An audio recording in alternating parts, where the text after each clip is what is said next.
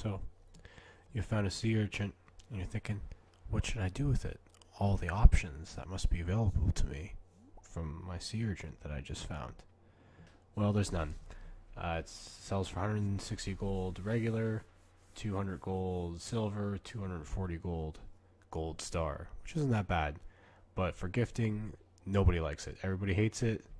Don't give it to anybody. It's not in any recipes. It's not used for any quests, though it is in a bundle. So save one for that.